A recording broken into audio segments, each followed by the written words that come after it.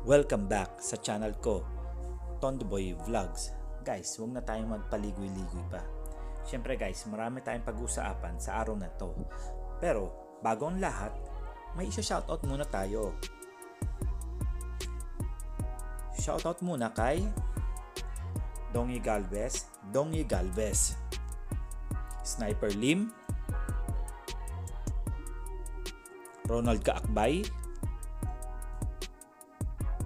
the legendary YouTuber, at JR Montero.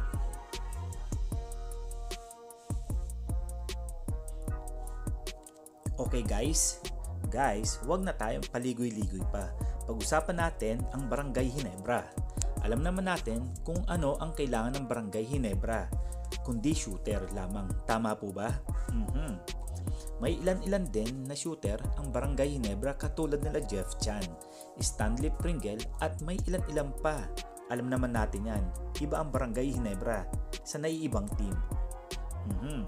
So, correct me if I'm wrong. May lumalabas na balita na balak kunin ng Barangay Hinebra si Matthew Wright ng Phoenix Fuel Masters. Pero guys, pero ha, alam naman natin na hindi basta-basta ibibigay ng Phoenix Fuel Masters ang kanilang dekalidad na shooter na katulad ni Matthew Wright. Siya nga pala, alam din natin na mautak si Louis Alas. Mhm, alam na natin yan dati pa. At dahil hindi siya magbibigay na walang kapalit. Dito tayo pumasok guys.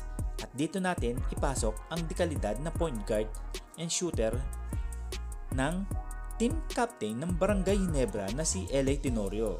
Pero sa palagay nyo, sa palagay nyo ba, ibibigay ba ni Team Cone ang numero unong point guard?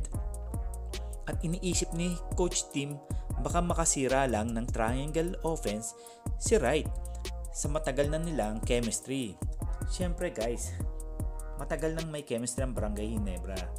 Alam na natin yan. Kaya nakailang pa championship na sila, di ba? Anyway, sabi nila, willing daw nilang ibigay si Jeff Chan at Jared Dillinger. Pero hanggang ngayon, hindi pa rin nagsasalita ang Phoenix Fuel Masters. Uulitin ko guys, rumors lang ito ha. Pero guys, kay kayo na ang mag-decide. Kasi yan ang gusto ni Team Cone. Hindi natin alam kung ano nasa isip ni Coach Team. So guys, ito, rumors lang na ito. At matagal-tagal na itong usap-usapan at hindi ito namamatay-matay guys. Ito, sabi nga ni Snow Badwa, big trade being prepared by SMC teams. This will be sent to the PBA office right after the revisions to that TNT Blackwater Index trade has been approved. Yan. Sabi ni Snow Badwa yan ha. Kasi guys, maraming nangyayari sa PBA na hindi natin alam. Maraming rumors din. Di ba? Kasi guys, kung ibibigay nila si Wright, hindi man papayag si Louis Alas basta-basta na walang kapalit. Ito na nga, ibinibigay nila si Jeff Chan, ibinibigay na nila si Jared Dillinger. Pero hanggang ngayon, wala pa rin silang sagot.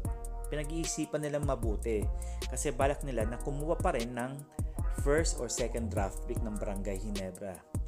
Tama ba yon?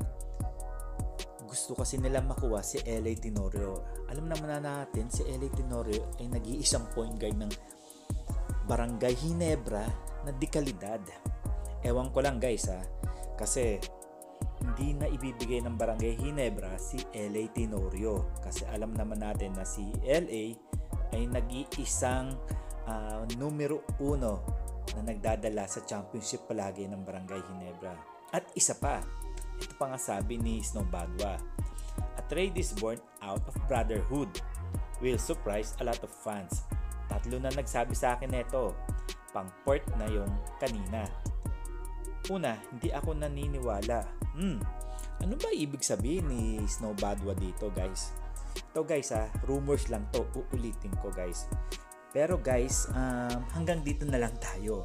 And this is Tondo Boy Vlogs. Thank you for watching my video. At sana sama-sama natin ang tambayanan ang mga magiging kaganapan sa ating paboritong liga sa PBA. Thank you once again and God bless us sa inyong lahat. See you for my next video. See you for my next vlogs.